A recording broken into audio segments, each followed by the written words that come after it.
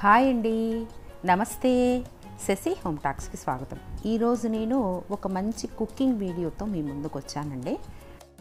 తక్కువ సమయంలో వంట పూర్తి చేయాలన్నా పిల్లలకు పెద్దవాళ్ళకి వంట చేసేప్పుడు మనం ప్రత్యేకంగా కారం లేకుండా ఎలా చేసుకోవాలో ఈరోజు నేను వివరిస్తాను. వంట చేసే ముందు ఆక్వాగార్డ్ నీళ్ళు అయితే కొన్ని పట్టుకొని ఉంచానండి. ఇదేమో ఊరికెళ్ళినప్పుడు టేకు చెక్క ఒక చిన్న ముక్క అలా కట్ చేయించుకొని వచ్చాను మా ఆచారితో అది ఎందుకో మీరే చూడండి. ఆ తర్వాత ఉదయం పూట పాలు తోడేయాలి కదా మీగడ అలా ఫో ఒక ఫోర్క్ తీసుకొని నేను మీగడంతా తీసేస్తానండి. అంటే మనకు టైం అడ్జస్ట్ అవ్వటానికి. చేత్తో తీసామంటే మరీ చెయ్యి కడుక్కోవాలి. అంటే ఫాస్ట్గా అయిపోవాలన్నమాట వంటలు. చాలాసేపే పడుతుంది. ఆ టైం అడ్జస్ట్ కావాలంటే అలా ఫోర్క్ యూస్ చేస్తానన్నమాట. చిన్న జాలీ గరిటె ఉన్నా కూడా యూస్ చేయొచ్చండి.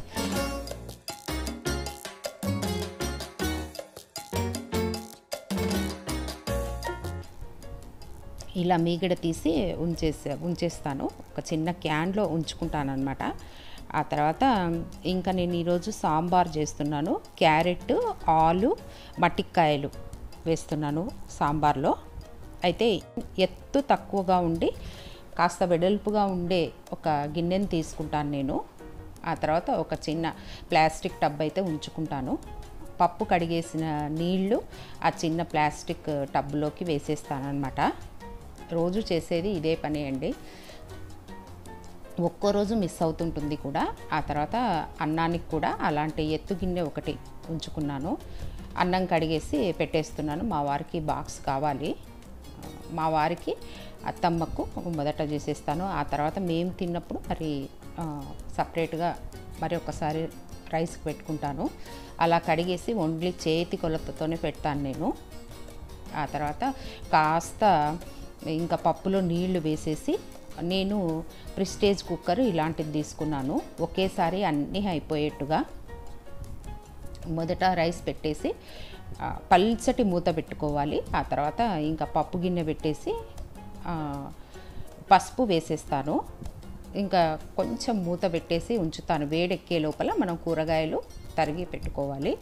ఆ టబ్బులోనే మనం రైస్ ఆ తర్వాత పప్పు కడిగిన నీళ్ళు ఉంటాయి కదా వాటిల్లోనే నేను ఈ ఆలు క్యారెట్ ఈ కూరగాయలు తరిగిన ముక్కలన్నీ అందులో వేసేస్తాను. చూడండి ఈ నీళ్ళన్నీ మా పెరటి పిల్లలు మొక్కల పిల్లలకి వేసేస్తాను. మందనమాట మంచి హెల్త్ డ్రింక్గా పనిచేస్తుంది బాగా పెరుగుతాయి. నిన్న వీడియోలో ముద్ద మందారాలు ఎంత బాగా పూసాయో చూశారు కదా? నేను ఇలాగే చేస్తూ ఉంటాను. ఆ తర్వాత ఇంకా కుక్కర్ మూత తీసేసి ఈ కూరగాయలు తరిగినవి అందులో వేసేస్తాను అనమాట సాంబార్కి పప్పు పైనే వేస్తాను. మనకి టైం అడ్జస్ట్ అవుతుంది ఎక్కువ గిన్నెలు కూడా మనకు అవసరం పడవన్నమాట. ఈ చెక్క ఇందుకోసమే యూజ్ చేస్తున్నానండి. ఏమంటారు కటింగ్ బోర్డు కూడా ఉంది. మనకు ఈ పక్క స్థలం తక్కువగా ఉంటుంది. నేను కటింగ్ బోర్డు యూస్ చేస్తాను. ఇది కూడా మరీ ఫాస్ట్గా అవ్వాలి అంటే ఇది కూడా యూస్ చేస్తాను.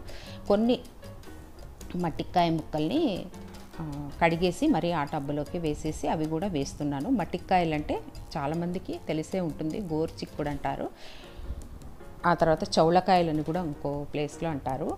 మా అత్తగారికేమో కాకరకాయ కూర చేస్తున్నానండి తను కాస్త కొంచెం చిగుళ్ళ ప్రాబ్లం వల్ల తను మెత్తగా తింటారనమాట ఏదైనా.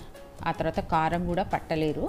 అందుకని కాకరకాయకి గింజలు తీసేసి తరిగేసేసి కుక్కర్లో పైన ప్లేట్లో ఉంచుతున్నాను. అంటే పప్పు మీద మూత పెట్టేసి దానిపైన ఉంచుతున్నాను. మెత్తగా అవ్వాలి. ఒక మూడు కాకరకాయలు తనకు సరిపోతాయి.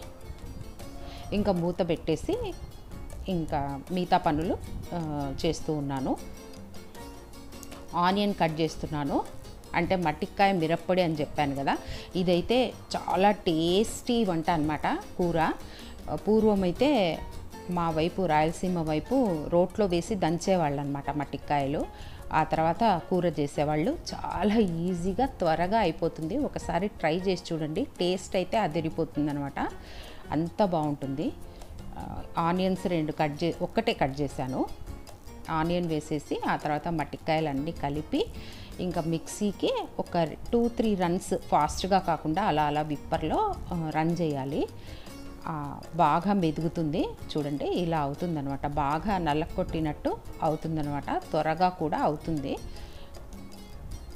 ఒక్కసారి ప్రయత్నించి చూడండి. మట్టికాయకుండే వగరు కూడా పోతుంది. ఇలా ఆనియన్ మిక్స్ చేసామంటే ఆనియన్ వేయని వాళ్ళు కొంచెం షుగర్ వేసుకోవచ్చు. ఒక హాఫ్ స్పూన్ షుగర్ వేసుకోవచ్చు. తోడు పెట్టడానికి ఒక చిన్న ఉపాయము మా వారైతే ఇలా చేస్తారనమాట గిన్నెకి గిన్నె లోపల కొంచెం పెరుగు వేసేసి అలా అలా రుద్దేశామంటే చాలా ఈజీగా అలా తోడుకుంటుందండి. ప్రయత్నించి చూడండి. గోరువెచ్చగా పాలు వేసేసి తోడు పెట్టుకోవాలి. మీగడ కూడా నేను కొంచెం ఉంటుంది కదా మీగడ. మీ మిగతా మీగడ అయితే నేను తోడేసి పెట్టాను నెయ్యి కాచడానికి.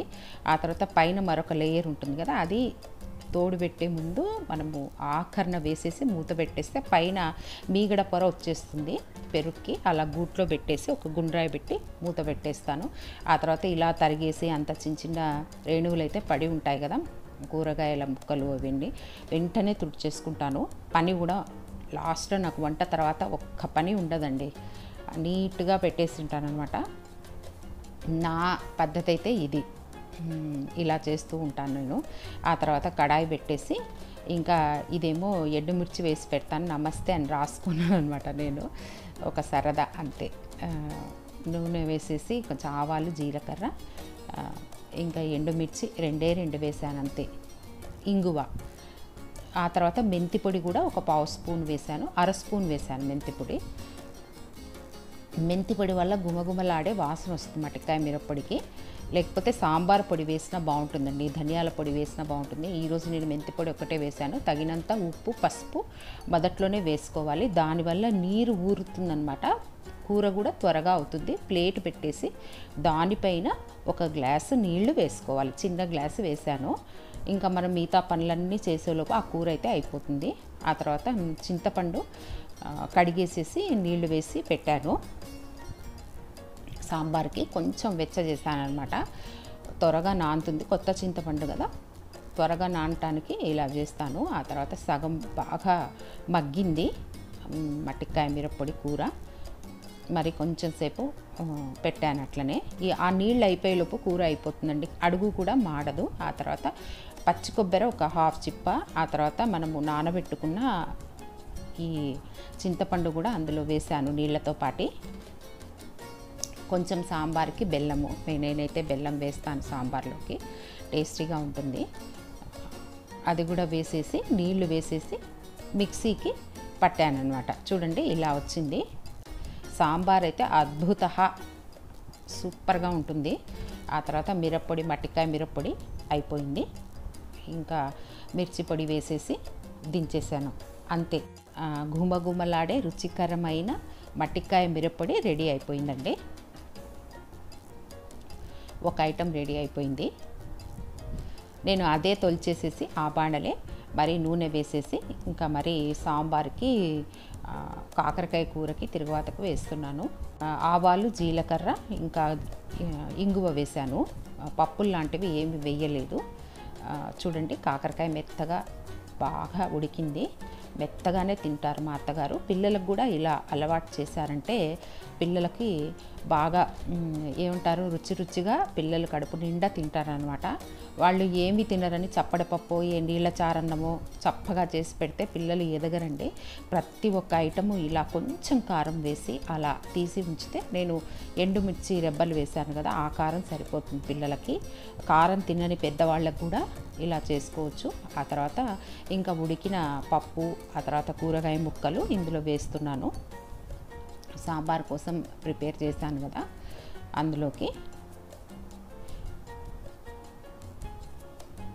ఈ మిక్సీకి పట్టినప్పుడే ఒక్క స్పూను సాంబార్ పొడి వేశానండి. ఆ తర్వాత మా వారికి అయితే సాంబార్ చేసినా కూడా కొంచెం ముద్దపప్పు ఒక గరిటెడు తీయమని చెప్తారు. ఆవకాయతో తింటారనమాట అలవాటు మా అబ్బాయి కూడా అడుగుతాడు. టేస్టీగా ఉంటుంది కదా. ఆ తర్వాత అన్నిటికీ కలిపి ఉప్పు వేశాను. ఇప్పుడు ఇంకా పక్కన తీస్తున్నాను. కారం లేకుండా సాంబారు సపరేట్గా చేశాను అనమాట ఇలా చేసి చూడండి మీ పిల్లలు కూడా చాలా బాగా తింటారు. కారం కారం అనకుండా కొద్దిగా కారం వేసి పక్కన తీసేసి మరీ ఉడికించేస్తే బాగా తింటారు. తినని పెద్దవాళ్ళకు కూడా ఇలా చేయొచ్చు. మరి కొంచెం నీళ్ళు వేసేసి కొంచెం తగినంత ఉప్పు మరి ఒక్క చిటికెడు వేసేసి సాంబార్ పౌడర్ మరి మనకెంత కావాలో అంత వేసేసి ఉడికించేసాను.